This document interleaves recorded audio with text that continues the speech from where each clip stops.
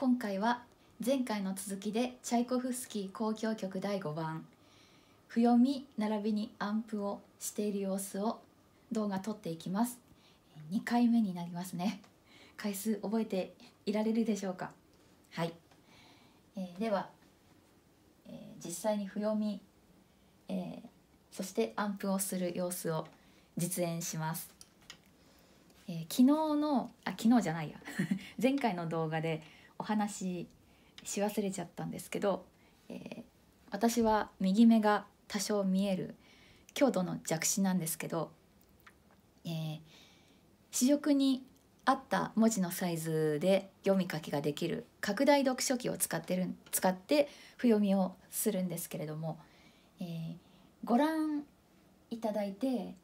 画面が白黒斑点になっているかと思うんですけど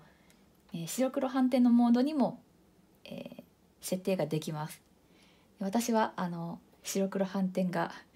見やすいなと最近感じるので、え、白黒反転のモードにして楽譜読んでいます。では、えー、現在、えー、楽譜はですね A3 私の場合 A3 の楽譜を使うんですけどえー、20ページあるうちの現在6ページ目まで進められてますね。で6ページあ6ページ目の、えっと、第2楽章第2曲目ですね。で、えー、12344段ありますね 6, 6ページ目。で今日は3段目から4段目まで行きたいなと思いますので現在譜読みを譜読みに取り掛かったばっかりですね。では譜読みをしてみますが私の場合は、視野が狭いんですね。でただこう今はこうえー、っとなんだっけな。八分音符でたんえっと8分音符が書かれていてですね。でさらにこう弾き方もね音符の真上にね記号が書いてあるんですね。で私の場合一気にパッと見ることができなくってうーんと画面にこう顔を近づけてこの V, v の記号があるなとか音符があるな。さらには音符の真下にこうニコちゃんマークのお口みたいな記号がね細かくついてるんですけどその記号までチェックを、えー、見るので一気に見えな見えにくくて3つの段階に分けて楽譜を見て初めて頭に入れるというなので、えー、少しの少量でも、えー、頭に入れるまでに30分から1時間はかかります。でではえどのように譜読みをするかちょっと実演、えやってみます、えっと、一気にはいけないので1小節ずつ1小節ずついきます、えー、なので最初は、えー、じゃあちょっと弾いてみます。間違えそう、えー、1小節ずついくのでひたすらじゃあ弾いてみます。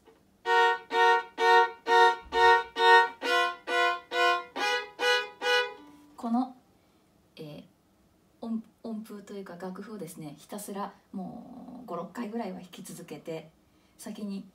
進めて組み立てていくという感じです。じゃあちょっとやってみます。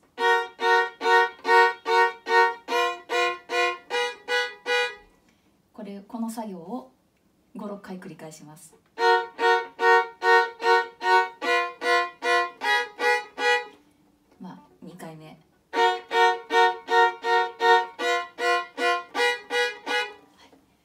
作業をですね繰り返していってですね。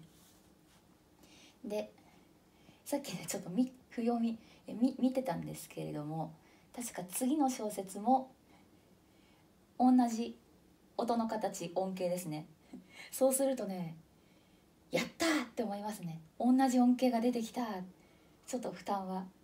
軽くなるなと思いますね。で、まだ続いてた。でえー、っとですねさえー、っと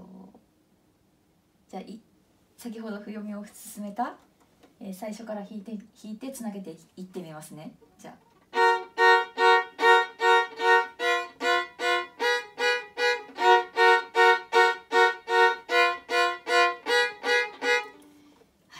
つまり小節1小節ずつ増やしていって最終的には全部つな全部と言いますか、まあ、覚えるぞって目標を立ててるところを最終的には全部つなげるその作業を毎日コツコツ 進めています。で確かね次は次もね見たんだけどこうやって拡大読書機のモニターに顔をじーっと近づけて音符を。え音符ね一つしか私の視力だと見え見えにくいので結構細かい作業になりますねじゃあさっきね 譜読みをしたのでじゃあちょっと、えー、下から、2段目に下から2段目をね今アンプ譜読みアンプしてるんですけどじゃ下から2段目を全部つなげてみます。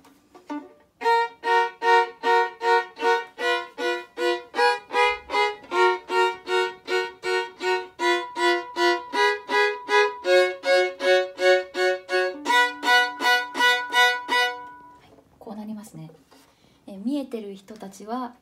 もちろん楽譜を見ながらもちろんって言っていいのかな、まあ、おそらく楽譜を見ながら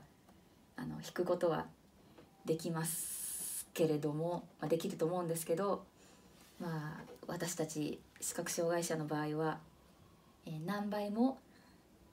えー、苦労とか、えー、まあ、見えてる人たちからするとする必要のない努力を強いられるそんな世界ですね。